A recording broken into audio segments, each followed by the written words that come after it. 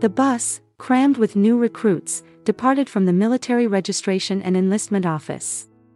Sarah trailed behind, straining her eyes one last time to catch a glimpse of her beloved Daniel among the soldiers. Just 30 minutes prior, they had shared a tender embrace, with Sarah burying her tear streaked face in his shoulder. Daniel, how will I manage without you? I didn't anticipate this happening so suddenly. What if something were to happen to you? Sarah had whispered, heart heavy with worry. Sweetheart, Sarah. Time will fly by. I'll complete my service and return before you know it. Nothing will happen to me, I promise. Just don't worry about it. Everyone does their service and returns safe and sound. I'm not going to war. Daniel had reassured her, his voice steady and calming. However, his words offered little comfort as the bus turned a corner and disappeared from sight, leaving Sarah standing alone, lost in her thoughts. After a while, she made her way home, her steps slow and heavy. Time trudged along at a painful pace, one month, then two, then three. Sarah reached out to Daniel occasionally, pouring out her longing and anticipation for his return, updating him briefly on her life. Yet, she withheld a secret. Recently, in the park, she had encountered Jacob, a bold, impulsive young man with a penchant for nighttime car races. Jacob, with his exuberant energy and captivating charm, knew exactly how to leave an impression on girls, and Sarah found herself unwittingly drawn to him. Despite this, she remained committed to Daniel, reminding herself constantly that Jacob was just a friend. Meanwhile, Daniel continued his service, blissfully unaware that he now shared a place in Sarah's heart with a charismatic thrill seeker who had recently made his presence known in their small town. One fateful day, Aiden, a comrade of Daniel's in the army, received a concise text from his girlfriend, declaring she couldn't wait for him any longer. Consumed by anger, he furiously smashed his phone, crushed the fragments underfoot, and stormed towards the exit of the barracks. Observing this, Daniel swiftly intervened. Hold on. Where do you think you're going? Seeking trouble. There's no way to change her mind now. Plus, why would you want someone who can't even wait a year? You might think it's easy for me to say since I'm not in your shoes, Daniel reasoned. Yeah, you're not the one getting dumped, Aiden retorted, his frustration evident. Sure, I'm not. But I believe in finding the one. Have you found someone special, too? Daniel asked. Yes, and she'll wait for me, no matter what happens. We've been together for three years now, and I trust her completely, Daniel affirmed. You think so, huh? I've known my girls since high school, and I'm telling you, yours won't wait either. They're all the same, Aiden bitterly exclaimed, only to be struck by a sudden idea. Hey, I've got a plan. Message her saying you're hospitalized and can't recover. If she supports you, whether by visiting or simply waiting, then I'll believe that there are actually decent girls out there. What do you think? Scared? You don't trust her, do you? I'm not scared. I'll call her. I'll do it tonight, and you can listen in.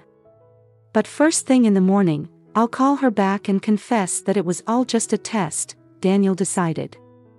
That night, when Sarah saw Daniel's name flash on her caller ID, her heart leapt. Daniel, my love. How are you? she eagerly answered. Wait, Sarah, you need to listen carefully. I've been in the hospital for the past two weeks. The doctors are saying I might never walk again. Do you understand? Daniel spoke, his voice laden with false despair. Daniel.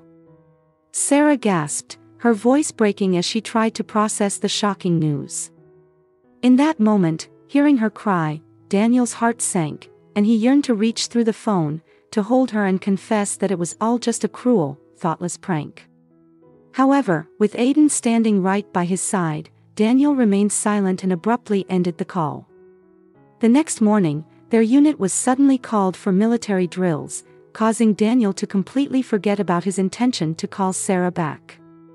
All personal phones were left in the barracks. Three days later, upon their return, Daniel noticed several missed calls and messages from Sarah. He hurriedly dialed her number, ready to confess about the dreadful ruse he had played. But before he could say anything, Sarah implored him not to speak. Daniel, I've spent a lot of time thinking, and this is really hard for me to say. I'm young, and right now, you don't need a girlfriend, you need a caretaker. And Daniel, there's another thing. I've met someone else. I hope one day you can find it in your heart to forgive me. I'll never forget you, Daniel, but you need to forget about me, Sarah spoke, her voice heavy with emotion, as she ended the call. Daniel, speechless and unable to confess about the deceit, felt a tap on his shoulder and turned to see Aiden, who had overheard almost everything. I'm really sorry, Daniel. I shouldn't have dared you into that bet, Aiden apologized, his voice filled with genuine remorse. No, it's fine. You actually saved me from falling deeper into this mess. And hey, you were wrong. We'll definitely find decent girls out there, Daniel responded, trying to put on a brave face despite the pain he felt inside. Indeed, that's how it will be. Post military service, Daniel and Aiden chose to extend their service through a contract. They found themselves in intense, high stakes situations, relying on each other time and again, forging a bond as strong as brothers. In one fierce skirmish, Daniel showcased exceptional bravery, rescuing Aiden and their platoon leader from a blazing vehicle, which earned him an official commendation. A year on, a severe injury left Daniel temporarily incapacitated. His path to recovery started in the hospital, under the diligent care of Thora, a compassionate nurse. She was instrumental in his rehabilitation, restoring not just his physical strength but also reigniting his belief in the unwavering loyalty one can find in a woman's heart. Their connection deepened, and within a year, they were joyfully married, with Thora expecting twins. Daniel doted on his wife, ensuring she had everything she needed, content in the knowledge that his life was now on a positive trajectory. During this time, Aiden reached out with a business proposition to start a security agency together.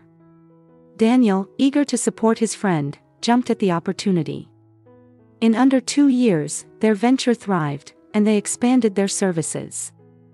They also gave back to the community, establishing sports programs for underprivileged children, a noble effort that did not go unnoticed by the local authorities, earning them additional support for their initiatives. One day, inspired by their success, Daniel entertained the idea of opening a sports center in his hometown. After discussing the venture with his business partners, he was ready to return to his family. With a few hours to spare before his flight, he decided to take a stroll through a nearby park, embracing a moment to reminisce about his younger years. As he strolled down one of the park's pathways, Daniel crossed paths with a woman whose face stirred a sense of familiarity.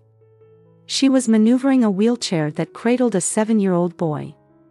Just after they had passed each other, she paused, spun around, and looked at him in astonishment. Sensing her gaze, Daniel also turned back around. His eyes widened in recognition, it was Sarah. She seemed to stagger slightly as if hit by an invisible force, then turned and began to walk away. Daniel, compelled to speak with her, quickly closed the distance between them. They exchanged greetings, followed by a moment of uncomfortable silence. You recognized me, he noted. Yes, she replied softly. This is your son. Daniel inquired, nodding toward the wheelchair. Yes, my son. His name is Carter, she answered. Daniel bent down to Carter's level, extending his hand. Hey there, Carter. The boy offered a shy handshake, asking, Nice to meet you. What's your name? I'm Daniel, uh, um, a friend of your mom's. He found the word friend difficult to say for some reason. Let's get you an ice cream. What flavor do you like? Daniel offered before Sarah could respond. He took control of the wheelchair, guiding them toward the nearest street cafe. After placing their orders, he turned his attention back to Sarah while Carter happily enjoyed his treat. So, how have you been? he asked gently. As you can see, Sarah responded, her voice laden with a touch of sorrow as she adjusted the collar of her modest shirt. And you? You look well. You're back on your feet, she noted. I am, and I'm really sorry about that phone call. It was a terrible joke, Daniel apologized sincerely. I know. Your mother told me later on, but by then it was too late. I was already pregnant, she revealed, her eyes meeting his with a mixture of sadness and acceptance. I never tied the knot with Jacob. He had numerous women in his life, just like me. However, he did show up when Carter was born, bearing gifts, before vanishing once again. He'd visit annually. But everything changed when Carter turned five, Jacob took him on a car ride, and they ended up in an accident just outside the city. Jacob walked away nearly unscathed, but Carter, he was left disabled. Jacob disappeared from our lives after that. What do the doctors say? Is there anything that can be done? Daniel inquired, concern lacing his words. There are options, of course. We're on a waiting list for a surgery, but the funds for an operation abroad are just, it's out of our reach, Sarah replied, her voice quivering with the strain of her situation. She turned to Carter, forcing a smile, Sweetie, are you done? We should head home. And Daniel, she added, her gaze meeting his, please forgive me, and I wish you nothing but happiness. Daniel turned back to Carter, hey buddy, what's your favorite thing to play with? Airplanes. I always wanted to be a pilot, Carter shared with a bright gleam in his eyes. And a pilot you will be, Carter. I'm sure of it, Daniel affirmed, though his eyes lingered sadly on Sarah as she and her son prepared to leave. A month passed. One day, a letter arrived for Sarah, its contents so unexpected that she needed a moment to fully grasp its meaning. The letter was an invitation for Carter to undergo a medical evaluation at a clinic in Israel, all expenses paid. Sarah wept openly, overwhelmed by gratitude and relief. Six months later, they returned, Carter walking unaided, albeit with the support of light crutches he wouldn't need for much longer. Sarah had her suspicions about who was responsible for this miracle, but without an address or phone number, she couldn't express her thanks. A week after their return, a package arrived for Carter. Inside, he discovered a large, remote-controlled airplane, and beneath it, a postcard adorned with a real airplane and a beautifully handwritten message, Good luck to you, pilot.